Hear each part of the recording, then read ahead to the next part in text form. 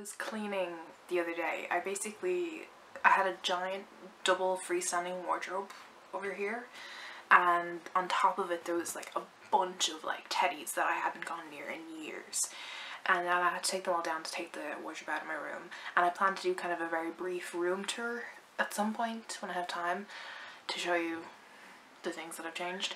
Not that you actually knew what my room looked like fully in the first, but anyway. Uh, I took all the teddies down and I happened to find this little guy. This is Tiger. He's uh, very well loved.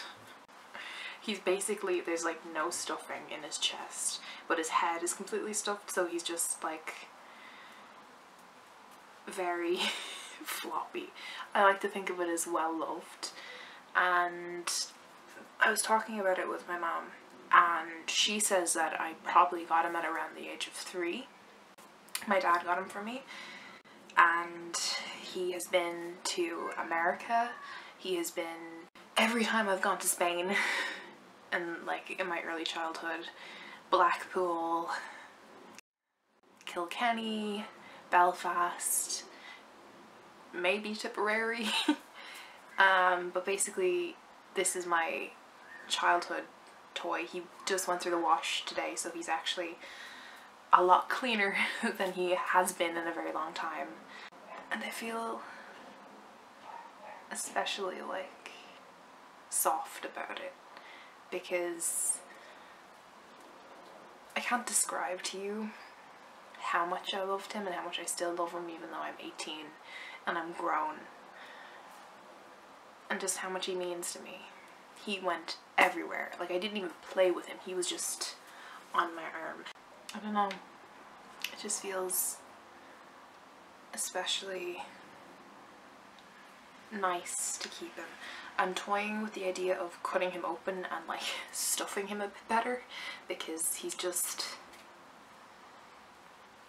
he's just very he has no structure but then I'm not really that fond of my own sewing skills. So who knows? But otherwise this little guy will be joining uh, Steve, Brutus and Zinger on my bed. And then I'm pretty sure I have um, have a dolphin somewhere that I don't think has a name. But uh I don't know, it just feels really nice to have him back because I completely forgot about him for so long. Um, having him back feels so good and I'm not ashamed as an 18 year old to say that I love, I still love my cuddly toys. Steve has been in my bed for the last three years, so like, two years I think actually.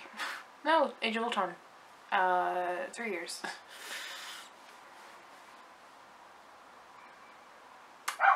Anyway, I'm gonna leave it there. Uh, I hope you have a fantastic day and an awesome video and hopefully I will see you tomorrow and